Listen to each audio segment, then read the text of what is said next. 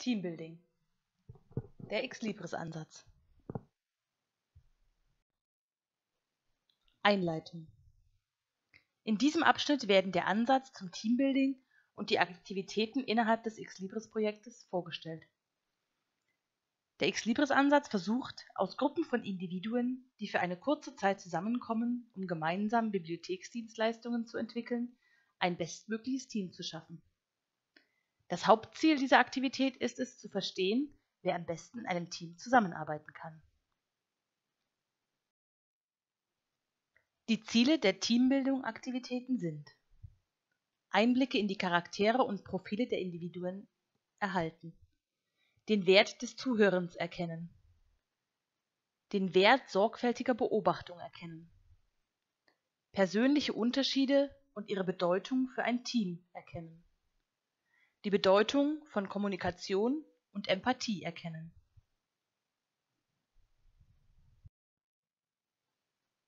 Für die Durchführung können viele Aktivitäten genutzt werden, zum Beispiel Fotowand. Ein Modell über sich selbst bauen. Übereinstimmungsspiel. Übungen zur Vielfalt.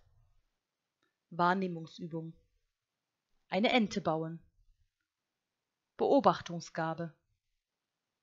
Übung linke versus rechte Gehirnhälfte.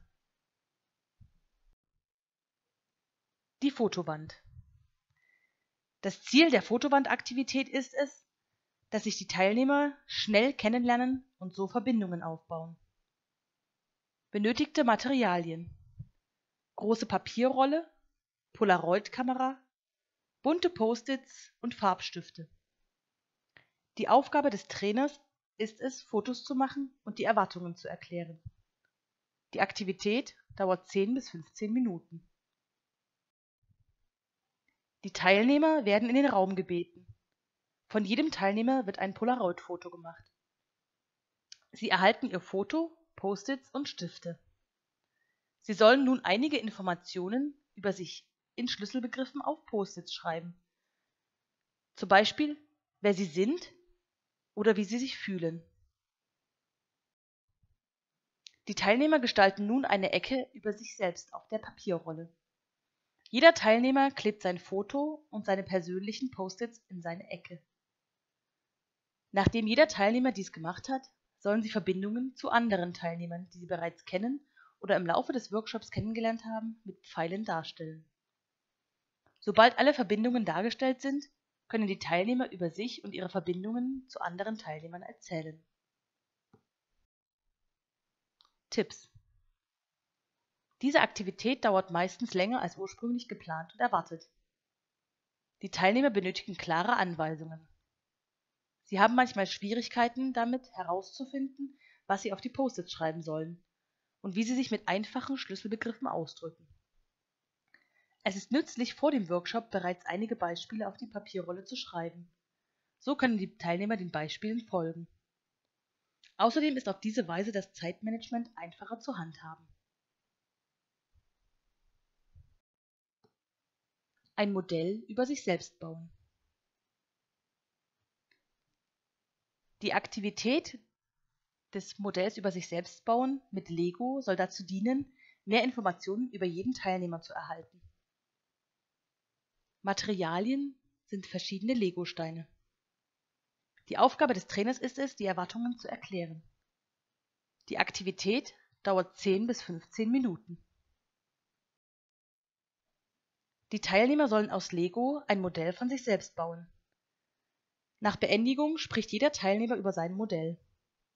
Wenn sie über ihre Modelle sprechen, geben sie neue Informationen von sich preis, die sie vorher noch nicht erwähnt hatten. Tipps Es ist sinnvoll, zu Beginn dieser Aktivität eine ungefähre Dauer anzugeben. Es kann länger als erwartet dauern, da einige Teilnehmer möglicherweise noch keine Erfahrungen mit Lego haben. Für die Teilnehmer ohne Erfahrungen mit Lego dauert es länger, bis sie sich an die Steine gewöhnt haben und sich schneller verbinden können. Dies ist jedoch ein guter Anfang, um sich mit Lego Serious Play vertraut zu machen. Die Aktivität liefert wichtige Informationen für das Teambuilding. Das Übereinstimmungsspiel. Das Ziel dieser Aktivität ist es, den Wert von Zusammenarbeit, Kommunikation und Mitgestaltung zu verstehen. Als Materialien benötigt man Legosteine in acht verschiedenen Farben und einen großen Tisch, der von allen Seiten zugänglich ist.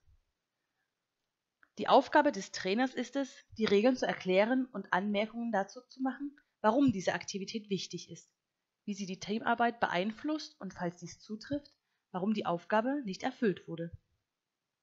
Die Aktivität dauert 10 bis 15 Minuten. Für diese Aktivität sind zwölf Teilnehmer notwendig. Abhängig von der Anzahl der Teilnehmer kann es auch mehr als eine Gruppe geben oder ein Mitspieler hat mehr als eine Aufgabe. Ziel ist es, ein Gebäude mit Legosteinen zu bauen. Jeder Spieler erhält eine geheime Mission, um das Ziel zu erreichen, wie beispielsweise eine bestimmte Schicht bauen, eine Schicht in einer bestimmten Farbe bauen oder mit einer bestimmten Anzahl an Steinen. Ein Spieler hat die Rolle des Beobachters. Alle Anweisungen werden auf kleinen Zettel geschrieben und keiner kennt die Mission der anderen. Die Spieler dürfen nicht miteinander sprechen. Das Spiel beginnt. Nach den ersten fünf bis acht Minuten stoppt der Trainer das Spiel und fragt den Beobachter, was passiert ist. Der Trainer fragt die Gruppe, wer seine Mission beendet hat, und alle zusammen analysieren eine oder zwei Missionen. Mit diesem neuen Wissen, dass jeder Spieler eine andere Mission hat, können die Spieler ein zweites Spiel starten und noch einmal für fünf bis zehn Minuten spielen.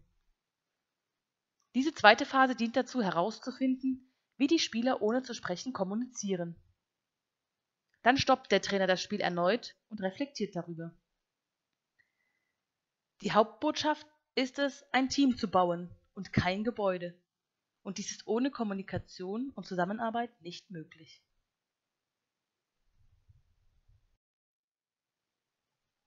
Hier sind die Anweisungen für die Spieler. Wie deutlich zu sehen ist, hat jeder Spieler eine eigene Mission.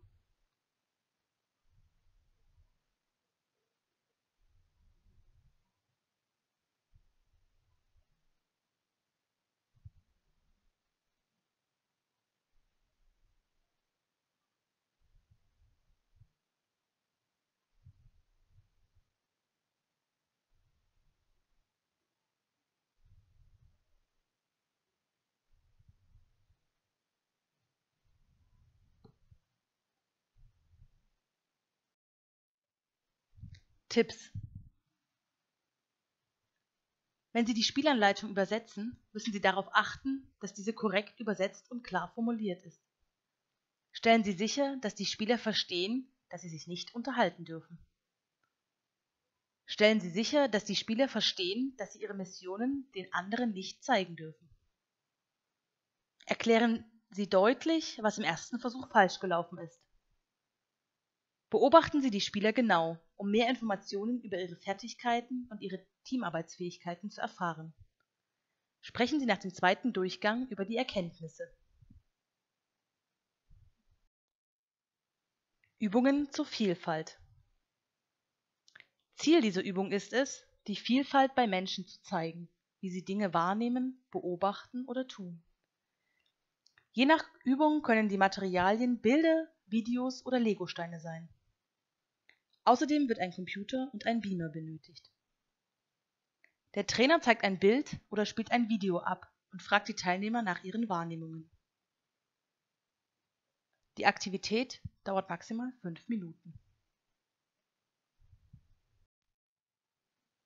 Wahrnehmungsübung Die Teilnehmer bekommen Illusionsbilder, wie einen Hasen oder eine Ente gezeigt, und sollen dann erklären, was sie sehen.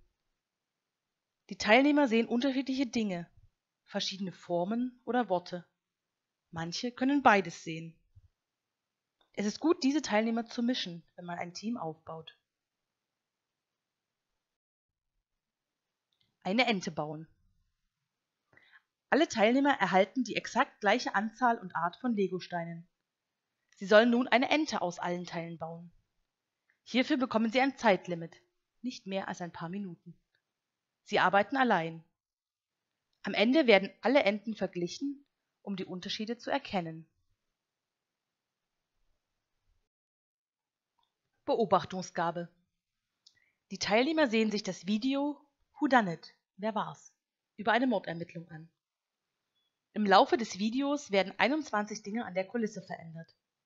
Zum Beispiel Klamotten, Gegenstände oder auch Personen. Die Teilnehmer sollen sich das Video sorgfältig ansehen. Am Ende werden sie gefragt, ob sie 21 Veränderungen feststellen konnten. Normalerweise fallen einer oder zwei Personen eine oder zwei Veränderungen auf. Dann können die Teilnehmer den Film noch einmal ansehen, mit dem Wissen, dass sich Dinge verändern. Beim zweiten Mal fallen ihnen mehr Veränderungen auf, aber nicht alle. Anschließend wird über die Erkenntnisse aus dieser Übung gesprochen. Es ist einfach, etwas zu übersehen oder nicht wahrzunehmen, worauf man nicht achtet. Und Menschen können unterschiedliche Dinge wahrnehmen. Sehen Sie sich nun Who Done It? Wer war's? an und testen Sie Ihre Beobachtungsgabe. Das Video ist in englischer Sprache.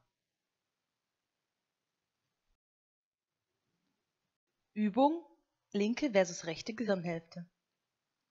Den Teilnehmern wird ein Video über die Unterschiede von Menschen mit Dominanz der linken oder rechten Gehirnhälfte gezeigt. Sie testen sich selbst und ziehen Schlussfolgerungen über sich selbst.